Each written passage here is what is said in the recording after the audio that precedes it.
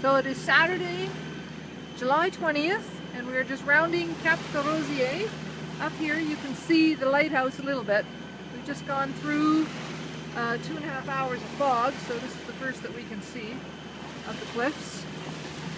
We're going to round this curve and we will be heading towards Gaspé.